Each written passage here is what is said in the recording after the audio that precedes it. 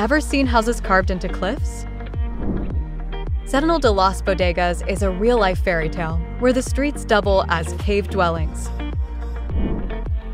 Wander through the labyrinthine streets of this Andalusian village. Indulge your senses with the flavors of Andalusia from tapas to wines. Have the thrill of outdoor exploration through scenic trails. DM for package details.